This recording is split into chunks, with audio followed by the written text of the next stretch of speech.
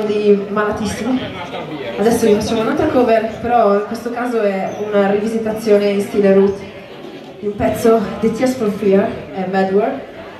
e insomma fa, fa un po' così.